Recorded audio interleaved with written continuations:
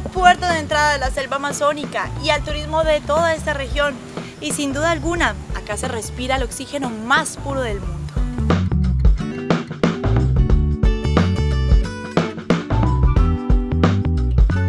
Los loros, o también llamados pibichos en la región, se alimentan en el bosque, se alimentan en la selva y llegan a dormir al Parque Santander. Hacen un gran espectáculo mientras se posan sobre los árboles para todos los nativos y visitantes. Una de las características que hace tan atractiva esta reserva natural es su población indígena, que vive en medio de la naturaleza y que viene de familias muy primitivas. Nosotros estamos en el resguardo San José, kilómetro 6, es que es el nombre de mi comunidad. Siempre hemos trabajado la artesanía. Tenemos la artesanía por el, el palo sangre. A una edad de, ses- de 60, 70 años ellos se secan, queda puro corazón. Eso es lo que trabajamos, lo que es el palo sangre.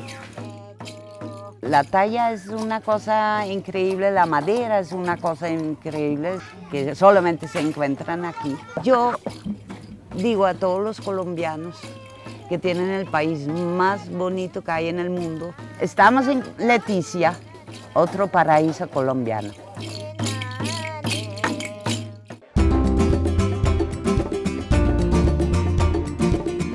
La gamitana es un pescado amazónico. Les vamos a enseñar cómo se va a preparar este pescado eh, asado. Entonces tiene el pimentón amazónico, cebolla, cabezona, va acompañado con tomate y se rellena por la parte de atrás. Ahora cogemos la hoja de plátano, la ponemos aquí sobre la parrilla.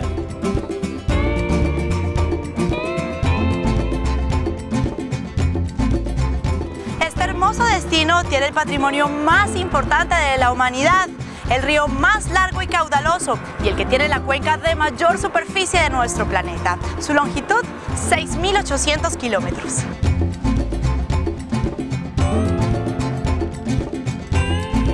Bienvenidos a la Amazonas, viajar es vivir. Que los esperamos con todo cariño.